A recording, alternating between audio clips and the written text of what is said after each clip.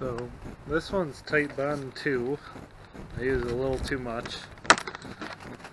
This has been curing for two days. As you can see, it's pulling up the foam.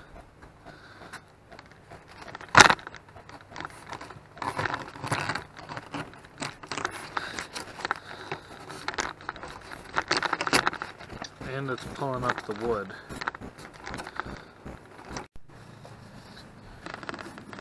Here's Titebond 2 gluing wood to foam.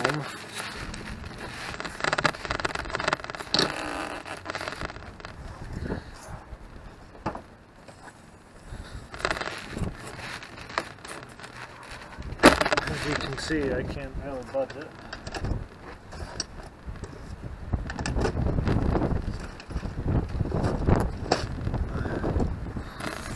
See if I can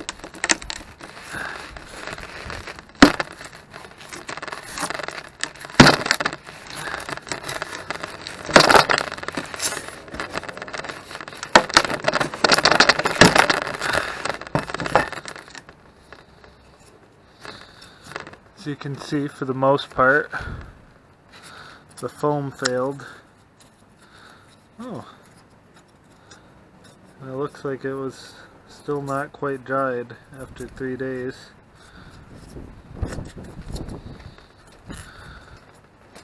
Or else, my guess is probably it would all fail at the foam.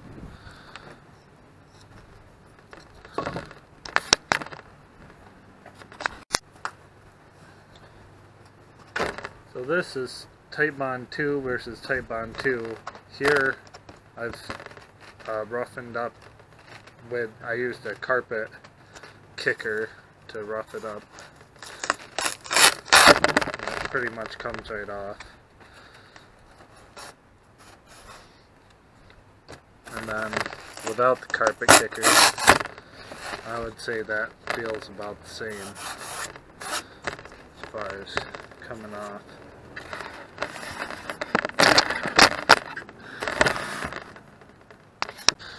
So this is Behr exterior paint and this is Glidden Gripper. The Behr is slightly harder to peel off than the uh, Bond 2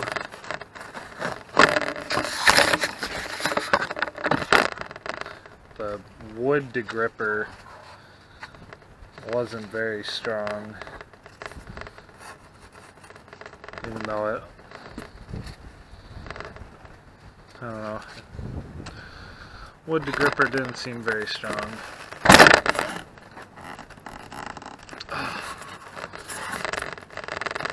Once again the very strongly bonded wooden foam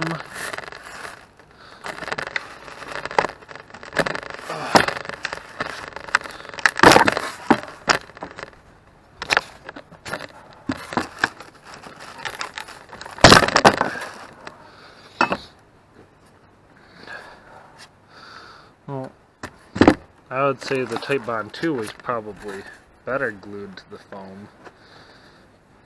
Because here you can see that it failed in the gripper.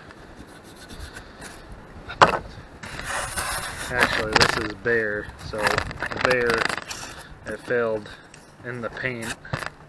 But I would say that it was stuck a little better to the foam than the Titebond.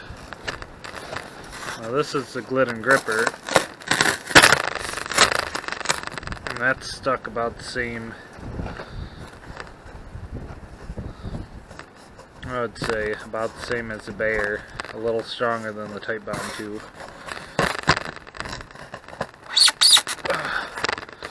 Much stronger wood connection though.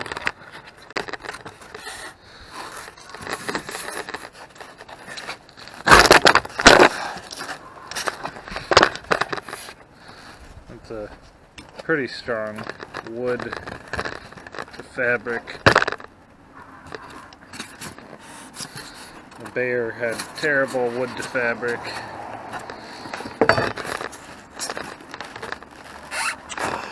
Feels like the gripper is going to have to be pried off.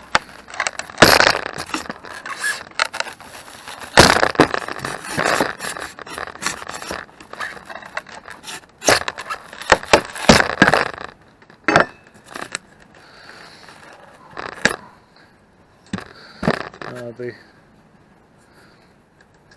the gripper appears to have stuck pretty well. I think the Titebond 2 had the best adhesion to to the wood to the foam and I guess that's it.